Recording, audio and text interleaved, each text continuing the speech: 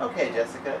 Today, the uh, Academy announced that uh, La La Land got 14 nominations. Two of them are for a guy named J- Damien Chazelle, who not only wrote the film, he also directed it. Out of these three men, which do you think is Damien Chazelle? Okay, so we'll go with the top one. That's correct. That's Damien Chazelle. Very nice. One of these three ladies is Natalie Portman. She just got nominated today for playing Jackie Kennedy, you know, the former First Lady. Which one of these three is Natalie Portman? She was in the Star Wars movies. Left, right.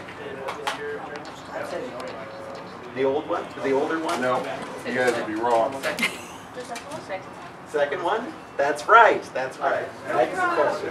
One of these guys is Casey Affleck. He just got nominated today for Best Actor for Manchester by the Sea. Yes. Out of these three guys, all got facial hair. Which do you think? This is Casey.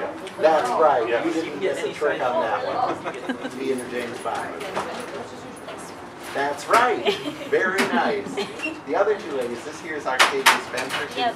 And this here is Viola Davis because she's on How to Get Away with Murder. Yep, one of my favorite shows. Very nice, very nice. Oh, yeah. He's hosting this year. Out of these three guys, which one do you think is Jimmy Kimmel? No, I'm sorry, that's Jimmy Fallon.